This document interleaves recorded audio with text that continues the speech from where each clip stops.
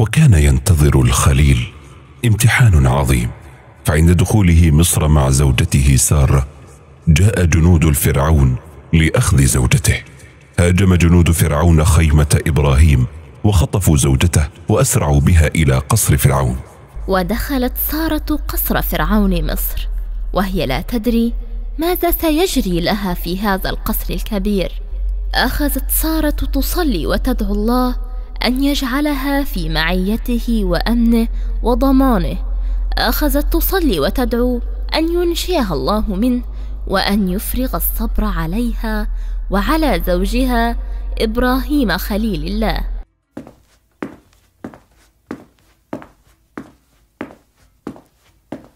سارة يا أجمل النساء أنا أنا أشتاق إليك. منذ رأيتك أول مرة. هيا هيا اقتربي. هيا اقتربي. فلما حاول الاعتداء على سارة أخذت تدعو الله وتتوسل إليه وترجوه. تقول سارة اللهم إن كنت تعلم أني آمنت بك وبرسولك وأحصنت فرجي إلا على زوجي فلا تسلط علي الكافر. لا تسلط علي الكافر. فأحس بآلام شديدة أبعدته عنها. آه آه آه ما هذا؟ آه ما هذا الذي يحدث لي؟ أشعر بآلام شديدة في جسدي. آه فادعوا لي إلهك أن يشفيني. سارة آه سارة. فلما دعت سارة له بالشفاء عاد مرة أخرى يتقرب منها. فعادت سارة للدعاء والصلاة والتوسل إلى الله فابتعد عنها متألما. آه سارة سارة من أنت؟ ادع لي إلهك أن يشفيني وسأبتعد عنك يا سارة. آه فلما دعت سارة الله أن يشفيه عاد فرعون لمكره وعادت سارة للدعاء حتى كف عنها خوفا ورعبا.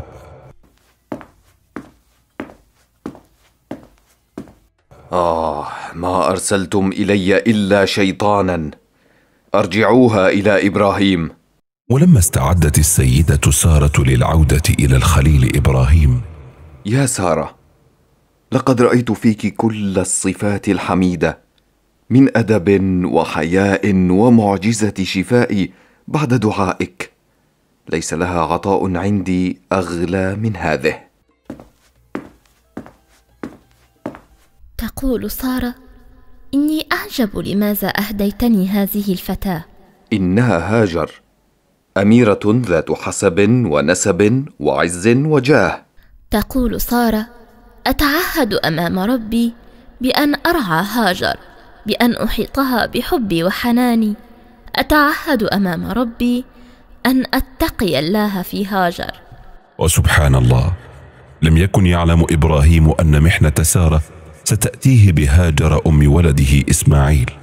وهكذا عظيم البلاء دائما معه عظيم الفرج. ذهبت هاجر إلى بيت إبراهيم عليه السلام وأصبحت خادمة لسارة وعاشت معهم.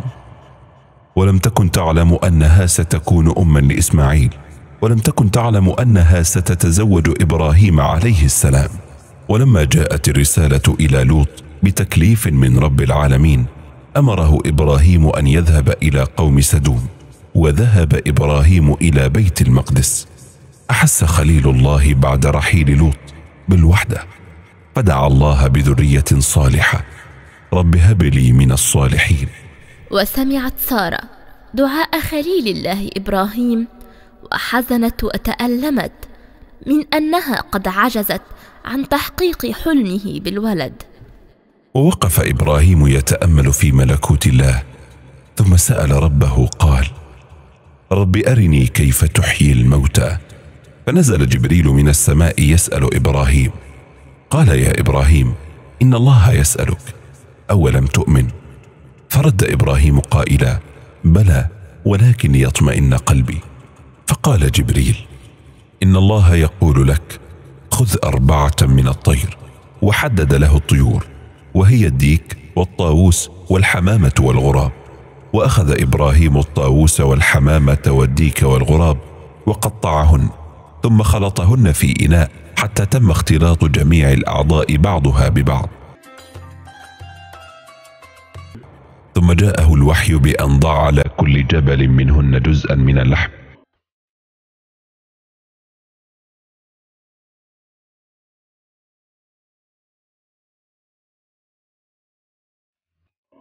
ثم ادعهن ياتينك سعيا فحدثت المعجزة وظهرت الأربعة من الطير وتكونوا أمام أعين إبراهيم ثم أتوه سعيا على أقدامهن. فجاءه جبريل يبلغه أن الله يقول له كذلك يحيي الله الموتى ويريكم آياته لعلكم تشكرون. وإذ قال إبراهيم رب أرني كيف تحيي الموتى؟ قال أولم تؤمن؟ قال بلى ولكن ليطمئن قلبي. قال فخذ أربعة من الطير فصرهن إليك ثم اجعل على كل جبل منهن جزءا ثم دعهن يأتينك سعيا. واعلم أن الله عزيز حكيم. وبعد أن كبرت السيدة سارة في العمر ويئست من الحمل وإنجاب طفل يخلف سيدنا إبراهيم قامت بتزويجه من هاجر الفتاة التي عادت معها. ولكن لما حملت السيدة هاجر وأنجبت سيدنا إسماعيل دعا سيدنا إبراهيم ربه. قال الحمد لله. رب أوزعني أن أشكر هذه النعمة العظيمة. رب لم تشأ بعظمتك أن أخرج من هذه الحياة الدنيا بدون أن ترى عيناي ذريتي. اللهم لك الحمد كما ينبغي لجلال وجهك وعظيم سلطانك. ولما أحست السيدة سارة بالغيرة أمر الله نبيه أن يذهب بزوجته هاجر وابنه إلى أرض الحجاز وتركهم هناك. لم يكن أمام خليل الله أي اختيار. فإنه الله لا مبدل لحكمه. ووضع إبراهيم الماء والتمر بجوار هاجر وإسماعيل وتركهما تحت ظل من الجلد. وسار ولم يلتفت وراءه ملبيا أمر ربه إن إبراهيم لصبار شكور. وقالت هاجر أين تذهب وتتركنا في هذا الوادي الذي ليس فيه أنيس؟ ولم يلتفت إبراهيم وانطلق لا يلوي على شيء. وما زالت هاجر تتساءل لمن تكلنا يا إبراهيم ولمن تتركنا؟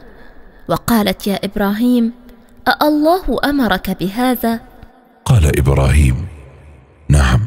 إذا فلن يضيعني.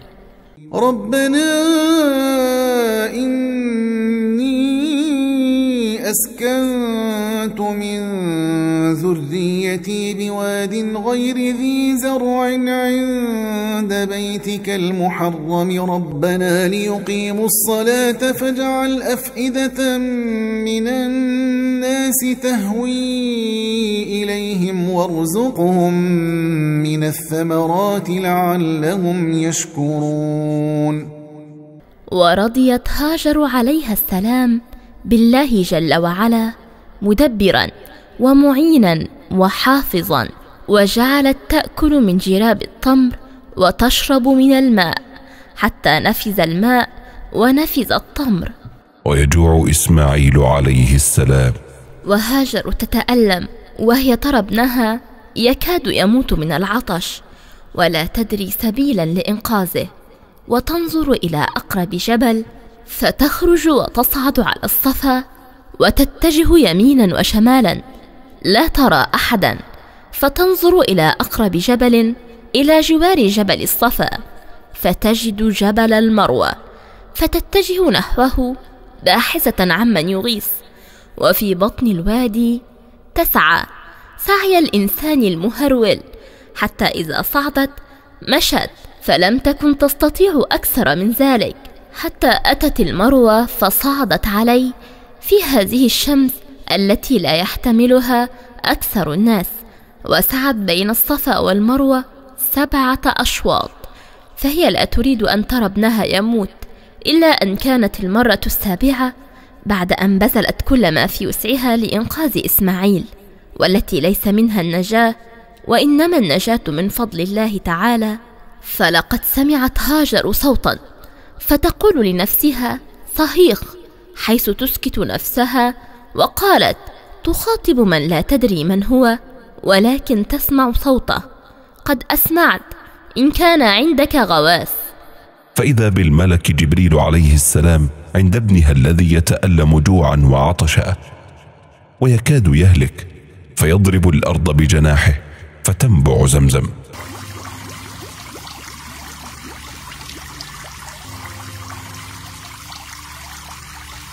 فتفرح بالماء فرحا عظيما. وتقول زمي زمي كانت لا تجد قطرة ماء ثم وجدت عينا نابعا فكانت زمزمه القرون والتي قال عنها النبي صلى الله عليه وسلم ماء زمزم لما شرب له. أخذت السيدة هاجر تسقي ولدها إسماعيل وتحمد الله الذي حفظها وابنها من الموت عطشا وجوعا. وعاد إبراهيم إلى السيدة سارة مطيعا لأوامر ربه وطمأن الخليل عليه السلام قلب سارة وأخبرها أنه قد تركهما لله واستودعهما الله ومن كانت وديعته عند الله فهي في حماه فإن الله لا تضيع عنده الودائع. إن إبراهيم كان أمة قانتا لله حنيفا ولم يك من المشركين. شاكرا لأنعمه اجتباه وهداه إلى صراط مستقيم. وآتيناه في الدنيا حسنة وإنه في الآخرة لمن الصالحين.